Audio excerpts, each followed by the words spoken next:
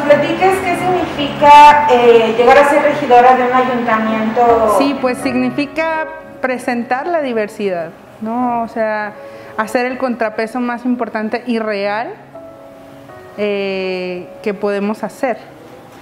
Esa es la parte yo creo que más importante y sobre todo darle una transversalidad de diversidad, no solo sexual, sino eh, pues en todos los temas de diversidad de personas que han sido borradas históricamente. Vamos a hacer una nueva historia como personas leonesas y esa historia la vamos a encabezar una mujer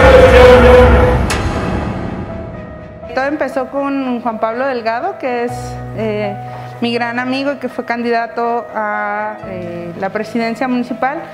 Lo hicimos para visibilizarnos, ¿no? para visibilizar nuestros derechos y bueno, ya después con todo lo que vino surgiendo, pues se fue haciendo como mucho más real, ¿no? Fue una construcción de mucho más, pues muchos más sueños, ¿no?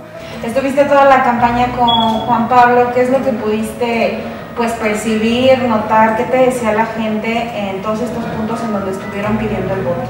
Las personas como yo, ¿no? que somos ciudadanas, eh, estamos ya pues muy cansadas o muy hartas de las mismas cosas, de que, todo el tiempo pase, o de incluso no encontrar representación ¿no? en el ayuntamiento, que sean solo ciertas personas que son las personas de siempre, ocupando los puestos de siempre y haciendo la política de siempre. Yo tengo experticia en, trabajar con organizaciones civiles, creo que esa es la primera cosa que se tiene que hacer, escuchar a las expertas y los expertos en los temas. ¿No? Eh, yo creo que yo tengo mi experticia en mis propios temas en los cuales he trabajado o me he desarrollado en estos 10 años de carrera, pero habrá otras personas que tienen su propia experticia, ¿no? Y entonces habrá que escucharlos para saber cuáles son las necesidades específicas y cuáles son los cambios que hay que hacer, ¿no? Y, sobre todo sustentados en, bases eh, de investigación, en bases sociales que, estén bien fundamentadas, que no sean un invento, o sea, no solo porque yo lo vi en otro espacio, creo que se va a poder implementar, ¿no? sino que ya están totalmente eh, aplicadas.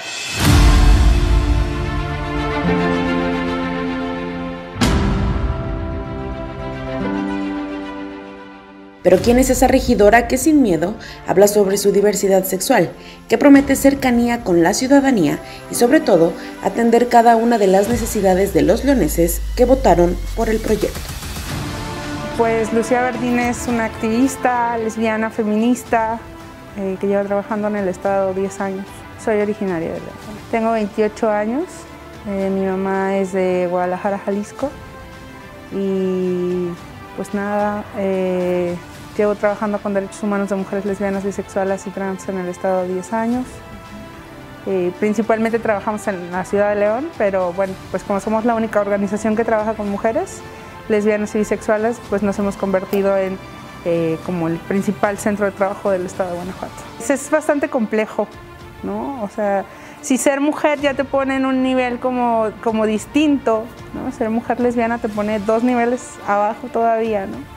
Eh, es complejo porque no solo en, el área del acceso a los derechos, algunos derechos como es los más notables como el matrimonio, etcétera, eh, sino que en algunos otros muy sencillos como es el acceso a un trabajo. En un estado que nos quiere eh, ver tristes, que nos quiere ver infelices, que nos quiere ver incluso muertas, ¿no?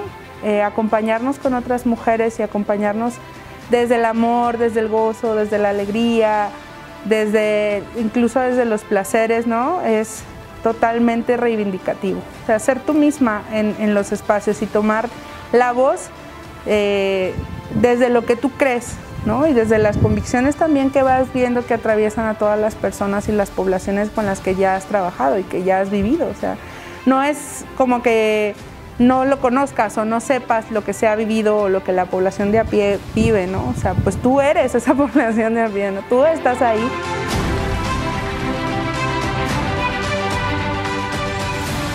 Vamos a seguir trabajando como lo hemos hecho hasta ahora, ¿no? Con mucha, con mucha dignidad, con mucho amor, con, mucho, con mucha pasión también, ¿no? Por hacer, por servir y por trabajar para otros, que es lo que, es lo que siempre hemos hecho.